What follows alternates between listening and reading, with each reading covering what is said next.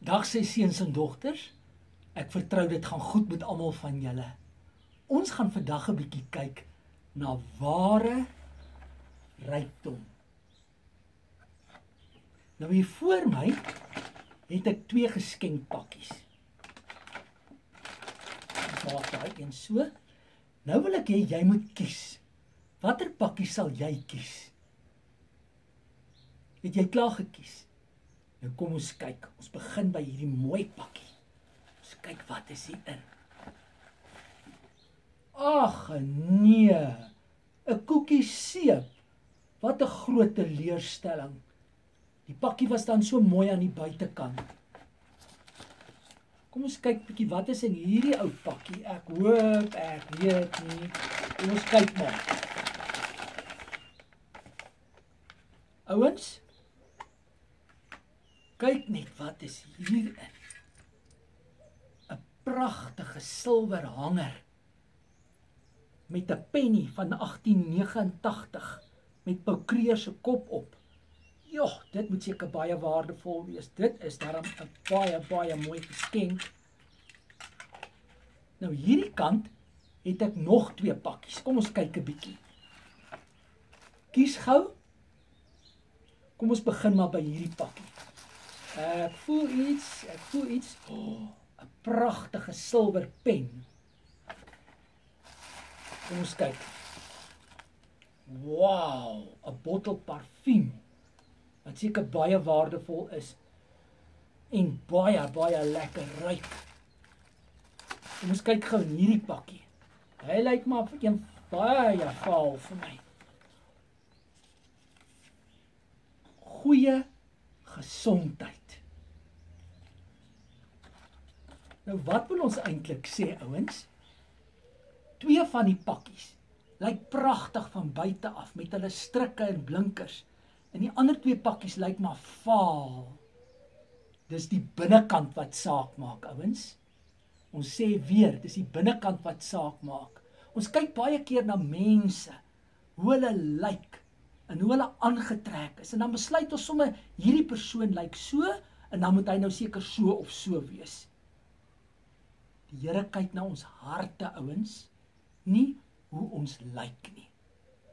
'n Sekere president in Amerika, sy van was president Lee, het gesê: "Die lewe is God se geskenk aan die mensdom. Wat ons daarmee maak, is ons geskenk aan God. God gee aan ons die wonderlikste geskenke deur sy genade of onverdiende goedheid, soos wat in die nuwe vertaling staan." Die Here gee vir ons verstand. Hy gee vir ons wysheid. Hy gee vir ons sy beskerming, sy seën. Die Here gee vir ons geliefdes. Hy gee vir ons vriendskap. Hy gee vir ons vryheid, vreugde om lekker te kan lag is 'n geskenk van die Here. God gee vir ons rustigheid en kalmte en vrede. Hy gee vir ons sy woord. Hy gee vir ons die voorreg om hom te kan ken en hom te kan dien. Hy gee vir ons die mooi natuur daar buite om te geniet. Dis 'n voorreg om te kan skool gaan, ouens, dis 'n geskenk. En om te kan studeer. Alle skatte, ware rykdom wat geld nie kan koop nie. Ons lees in 1 Konings van koning Salomo wat so ongelooflik ryk was omdat hy wysheid van die Here gevra het en nie 'n selfsugtige iets soos 'n lang lewe of rykdom nie, het God hom geëer daarvoor. Nou ons lees 140 keer in die Bybel van geld. Maar Salomo se rykdom was so fabelagtig en dit word volledig beskryf in die Bybel. Nou hy het van 970 voor Christus tot 931 voor Christus regeer. Met ander woorde, hy was 39 jaar lank die koning gewees. En hy het vir elke jaar wat hy koning was, 23 ton goud ingekry met 'n waarde van 32 biljoen. Ekskuus mense, 32000 biljoen rand. Dis ongelooflik. Mens kan nie indink hoeveel geld dit is nie.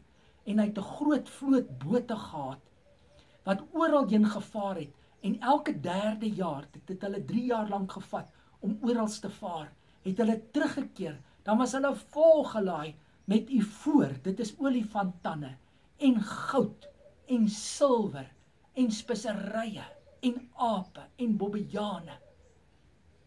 En dan het mense van oral af vir hom elke jaar geskenke gebring van goud en silwer en die mooiste klere en perde en muile. Ons lees in die Bybel hy het 1400 strydwaans gehad en 12000 perderyters wat almal opgelei was.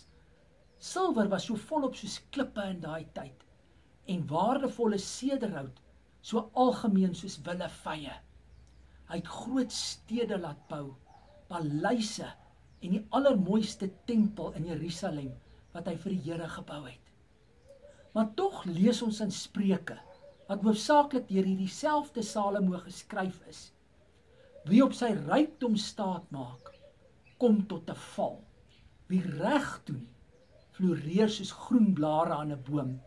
Dit is die seën van die Here wat ryk maak, nie jou gesmoeg nie. Dit laat dit nie meer word nie.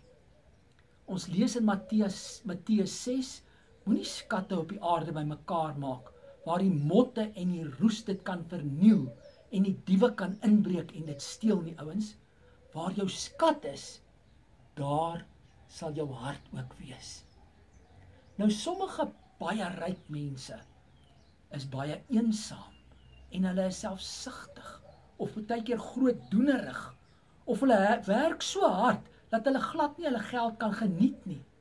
Hulle maak staat op hulle geld, maar baie keer is dit nie die geld wat hulle wil hê nie. Hulle wil graag vriendskap hê en geluk en vrede. Dan kan hulle dit nie kry nie. En as ons baie aardse besittings het, ouens, sal ons te veel tyd en aandag daaraan gee. En dan sal ons ons tyd saam met die Here afskeep en heeltemal vergeet van hom, dan word geld ons afgod. Ons kan nie die geskenk van lewe wat God vir ons gee in die bank sit of spaar tot later nie ouens. Ons kan ook nie by iemand anders daai geskenk leen van die lewe nie of dit deel nie. Ons kan dit net waardeer en geniet en dankbaar wees vir elke dag van gesondheid en nog 'n dag wat die Here by byvoeg by ons lewe deur sy genade. Ons is eintlik skatryk as ons Jesus se kinders is. Want ons erf nie geld nie, maar ons ontvang die ewige lewe ouens. Dis voorwaar 'n baie groter geskenk as wat enige persoon op aarde ons kan gee. Dit is wat ons ware rykdom noem. Kom ons bid saam. Hemelse Vader, Baie dankie dat U ons hemelse skatte gee. Dat U ons skatryk maak deur U woord, deur U genade, deur U liefde en deurdat ons in U kan glo om eendag die ewige lewe te hê. Maak ons dankbaar daarvoor in Jesus se naam. Amen.